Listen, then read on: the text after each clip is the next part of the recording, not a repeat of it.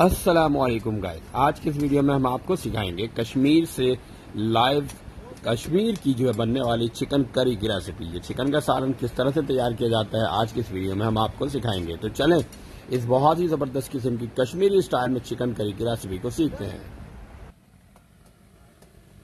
एक मुर्गी पूरी ली गई है तकरीबन ये डेढ़ किलो इसके बाद टमाटर इसमें ऐड किया गया। टमाटर छह से सात अदर ऐड किया गया छह अदर ऐड किया गया।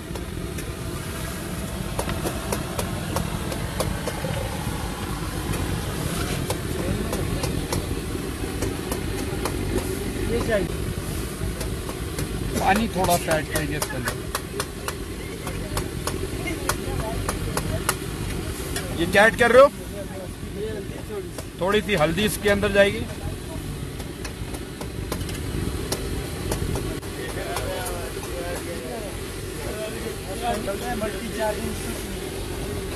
इसके बाद नमक हरी मिर्च इसके बाद इसमें ऐड कर दी गई चार अदद जो कि स्पाइसी है। ठीक है? अभी इसको दम पे लगा देंगे दम पे कितने देर के लिए दम पे लगाओगे? पाँच मिनट। के लिए दम पे लगाने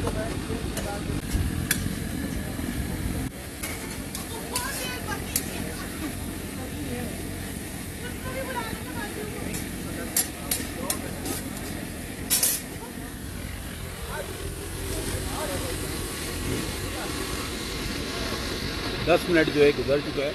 दस मिनट के लिए दम पे रखा था। और देखिए ये पोजीशन है इसका। और उसमें टमाटर दोबारा ऐड किया दो दर मीडियम साइज़ हो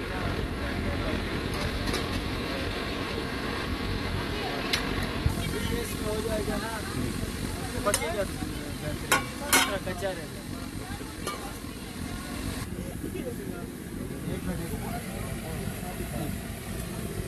अदरक, लहसन का पेस्ट इसके अंदर ऐड किया है। तकरीबन ये टू टेबल स्पून ऐड किया गया अदरक, लहसन का पेस्ट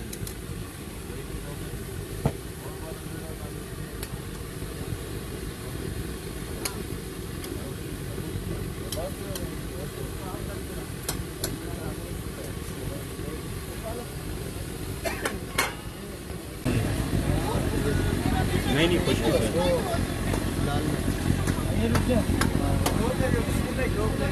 ये क्या डाले? ये प्याज। प्याज? तली हुई प्याज है ये? हाँ। ये फ्राइड अनियन इसके अंदर ऐड किया ब्राउन की जो प्याज होती है वो ऐड किया। ये तकरीबन जो है दो मुट्ठी ऐड किया और ग्राम अंदाज लगा लें तो 40-50 ग्राम हो गई ये। फ्राइड अनियन ऐड किया गया।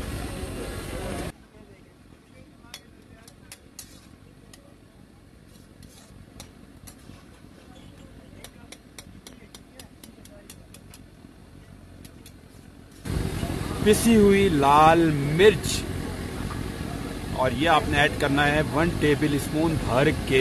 तकरीबन ये समझ लें 1.5 टेबल स्पून ये, ठीक है?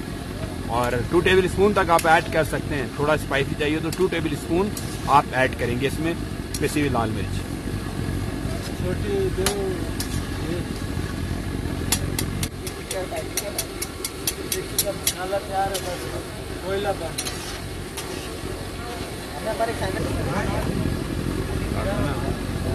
इसके बाद इसमें घी का इस्तेमाल किया गया, ठीक है? घी आपने ऐड करना इसके बाद